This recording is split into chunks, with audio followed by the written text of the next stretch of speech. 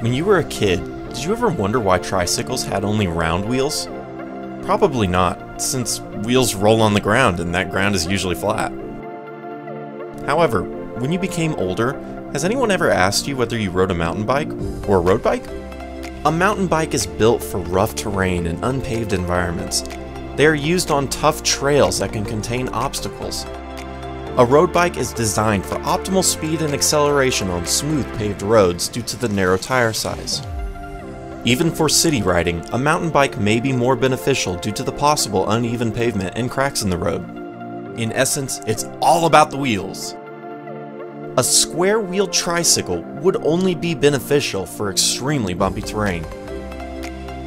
To ride smoothly, it would require a very special roadway. The square wheel trike can roll just as smoothly as a normal bicycle, assuming it travels over evenly spaced shapes. Those shapes? Inverted catenaries. A catenary corresponds to the graph function called the hyperbolic cosine. Turning it upside down returns the inverted catenary necessary for a square wheel to roll.